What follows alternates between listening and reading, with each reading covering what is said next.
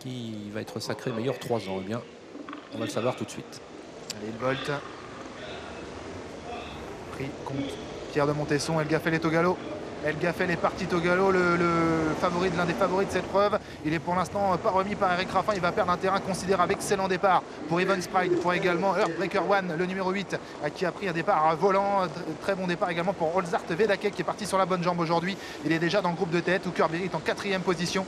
Devant également Herminger, la Vanna Dorsi, la favorite de l'épreuve, figure dans la seconde moitié de ce petit peloton où figure également à l'arrière le numéro 2, Hermès Descotet et Aura Bégi, numéro 7. C'est terminé pour El Gaffel, l'un des favoris de l'épreuve qui a donc été disqualifié. Passage devant les tribunes. Even Sprite qui est seul en tête désormais avec Colzard TV Daquet qui se rapproche à hauteur d'Earthbreaker One qui est juste derrière les premiers, suivi toujours par Hooker Berry le numéro 4, alors qu'Hermine Girl est en cinquième position devant la favorite de l'épreuve Havana Dorsi qui elle-même précède Havanaise et Aura Piergi fort maintenant pour passer devant les tribunes. Dirtbreaker One qui vient à l'extérieur d'Olzar TVDEC et la troisième place en dedans pour Evans Pride. Alors qu'on accélère, hein, semble-t-il, puisque Björn tente de prendre la corde maintenant. Mais François Lagadec a répondu un petit peu avec le poulain de Philippe Allaire. Mais Björn est parvenu à prendre la tête et la corde avec Earthbreaker One. Olzar TVDEC est deuxième. Evan Price s'est décalé de la corde maintenant. Il vient à l'extérieur des animateurs. Armin Girl est là, tout comme également Hooker Berry. Havana Dorsi est toujours patiente à mi-peloton devant Ikile Ogiel. Havanaise qui patiente.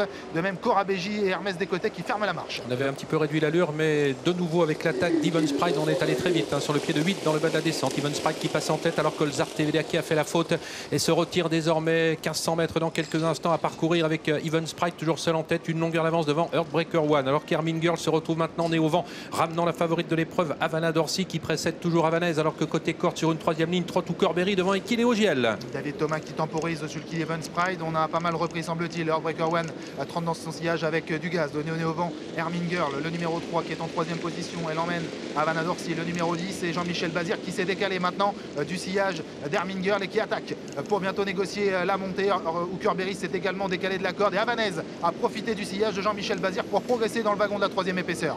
Dorsi qui a pris ses responsabilités. Havanaise qui est en contre-attaque maintenant au poteau du dernier kilomètre. On va vite à cet instant du parcours, mais ça va toujours bien pour Ivan Sprite, le numéro 5. Havanaise qui parvient à se rabattre devant Havana Dorsi alors qu'on tente un effort avec Hermès des côtés également qui n'hésite pas à attaquer en troisième épaisseur. On suit toujours côté corde avec Earthbreaker One alors Hooker Berry a quitté la corde et vient ensuite dans le dos d'Hermine Girl. Et Hermès des côtés maintenant qui, a attaque à son tour en troisième épaisseur au centre et Havanaise a bien répondu. Evans Pride également qui vient d'être maintenant, euh, on vient de lui déboucher les oreilles avec David Thomas en haut de la montée. Euh, il se détache maintenant un petit peu euh, Hermès des côtés qui semble prendre la mesure de Evans Pride avec également Havanaise qui est au centre, Havana Dorsi qui n'a pas dit son dernier mot, elle s'accroche au basque des meilleurs alors que Breaker One semble avoir du gaz dans la corde mais il a maintenant été décalé par Björn Goup et c'est maintenant l'instant choisi par Jean-Michel Bazir pour décaler Havana Dorsi qui se rapproche en épaisseur maintenant.